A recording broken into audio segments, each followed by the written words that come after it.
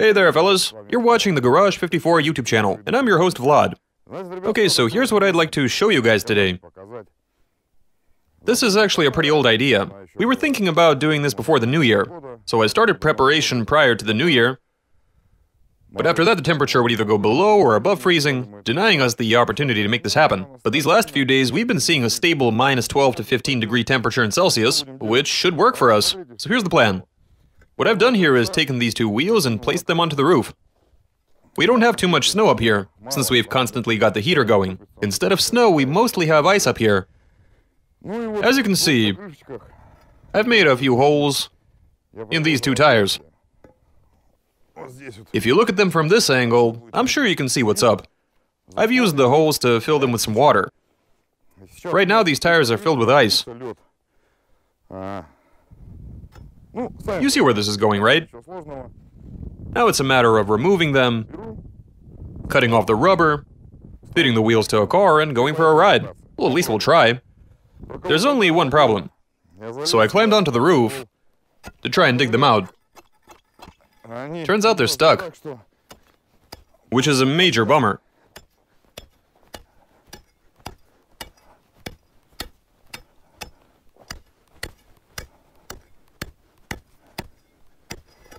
Regardless, we have to find some way to get them out. Okay, one down.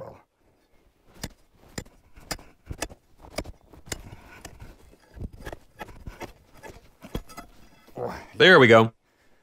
The other one's out. We've got ourselves some nice tires here. Oh, wow. I can tell you straight away that they're much lighter than the ones filled with concrete. The concrete ones were much heavier.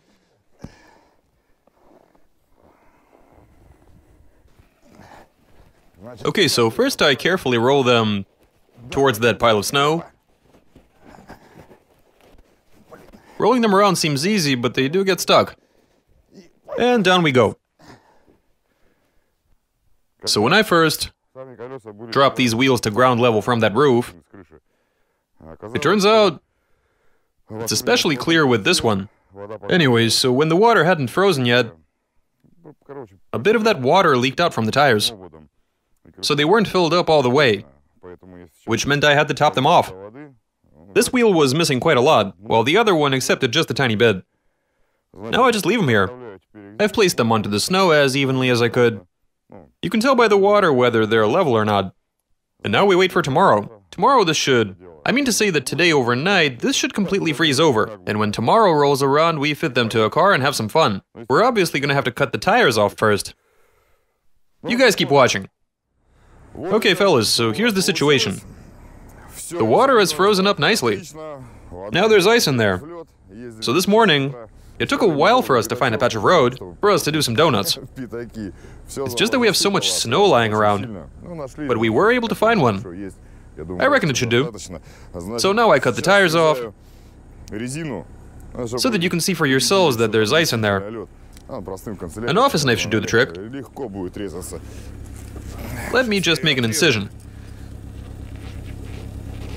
For you to see what's up. Damn it.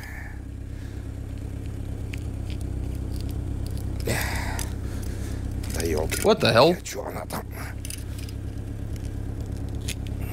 It's gotten so cold that cutting it has become a problem. It won't give up that easily.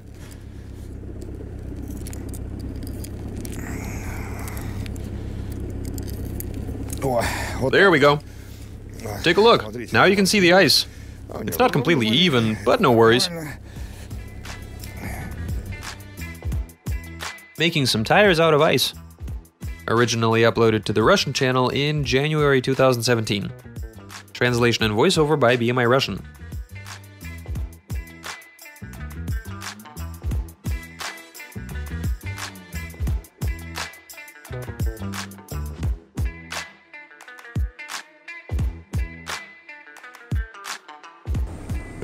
So after going through that short and simple process, we're left with this. I've cut the sidewalls off, on both sides. Here you can see some ice, which is a bit dirty. Whatever. The second wheel looks exactly the same. Okay, so now it'll be interesting I'll probably take the tread off of one wheel while leaving the rubber intact on the second one, just to see which one will fall apart first. It's obvious that the ice isn't gonna give us any grip, but we are running a welded diff. So it really doesn't make that big of a difference. One of these should give us some traction. Then again, these do look like summer tires, or maybe all season.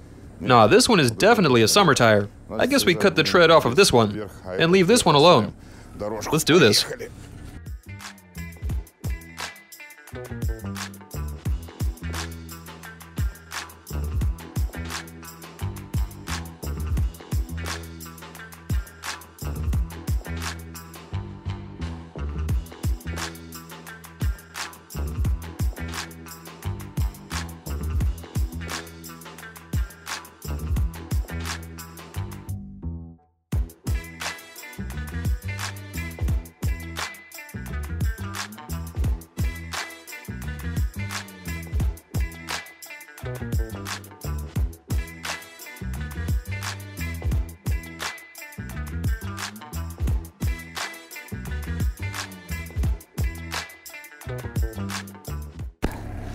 Okay, so now we're looking at this fun little piece of work. See this? This is from when we first poured some water in there. And this layer is from when we topped it off. Now that water was murky and had some snow in it, while this is clean. Looks pretty cool. You can see right through it in the sunlight. Right, time to stop admiring it and throw it on.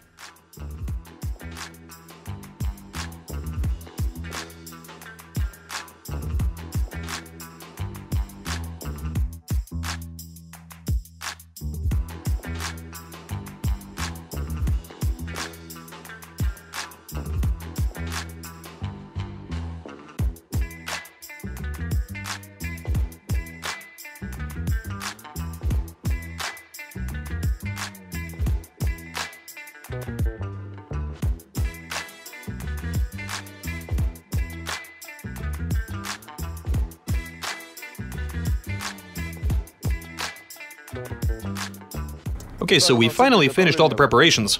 The ice tires have been installed. Here we have our patch of road, and the car is all warmed up. Let's have a go and see what happens.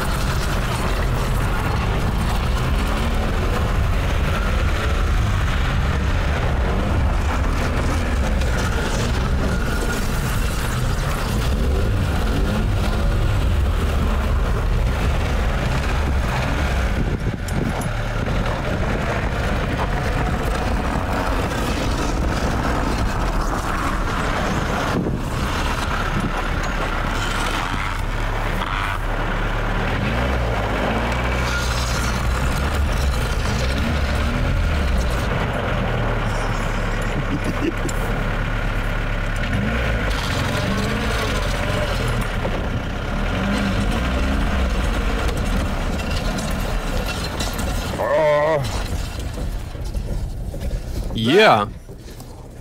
No grip whatsoever.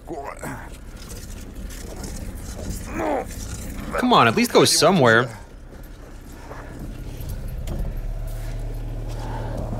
Okay, now what do we do? It sure digs in there, doesn't it?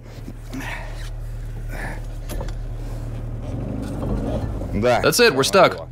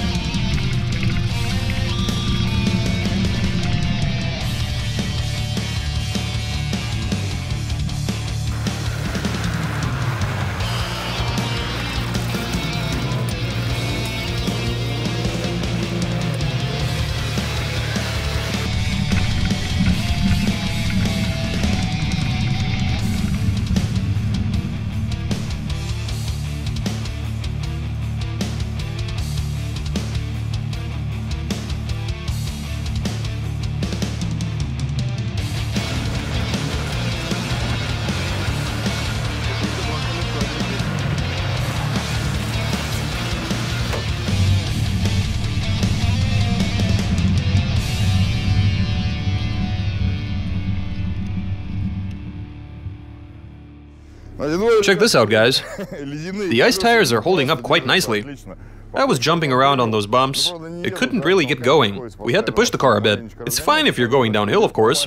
Anyways, so I drove into a groove and even plowed through a bit of snow, and the tire looks okay. Let me fix that with a hammer. There we go. Maybe I shouldn't completely destroy it and just drive around first.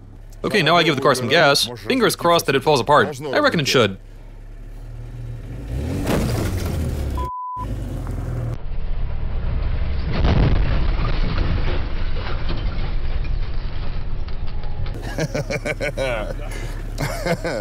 Even a small crack in the ice turned out to be enough.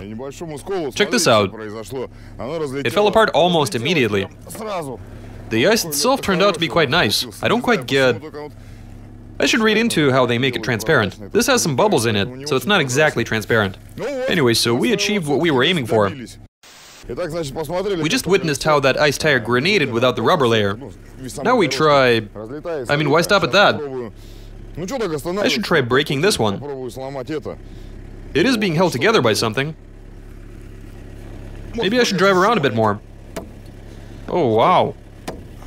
We already have a crack. Uh-huh. Uh-huh. We have some cracking going on in there. Let me just give it another smack for good measure. That should do it. Now it's time to go for a drive. Let's do this.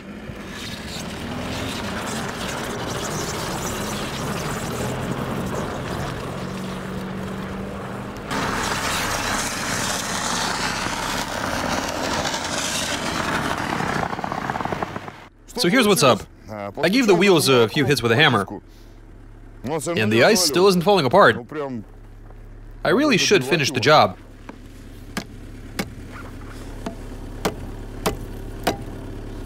There are cracks all over the place, but it still won't fall apart.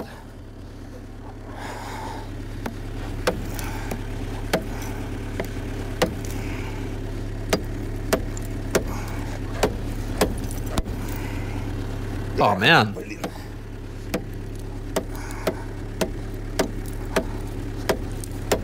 That'll do.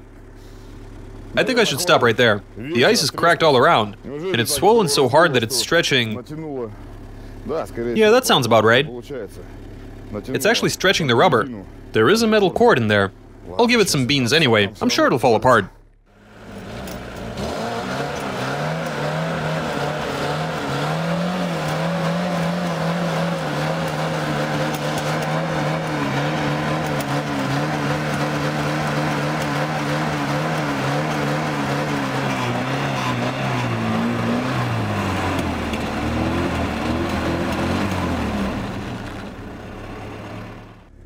Despite giving it our best efforts, as you can plainly see, you can pick the ice out of there, but it still doesn't evacuate when the wheel is spinning. The rubber layer is successfully holding it all in there. The tire tread that we decided to leave in place. Whatever's left of the tire is compressing the ice and keeping it from flying out. Now that wheel, after taking a single blow, exploded pretty much right away. But we can't repeat the same result here. The ice just stays put. The moral of the story, of course, being that these wheels are very much suitable for driving in the north, even if ride comfort is a bit rough. They obviously don't smoothen out the bumps, so on these wheels it won't be long before the suspension falls apart. Alright fellas, that concludes today's experiment. We've successfully destroyed one tire, while the other one is still in one piece. I guess it's time to wrap this up. Watch our videos, subscribe to our channel, give us a thumbs up, leave some comments and suggestions. Oh, Alright, catch you later.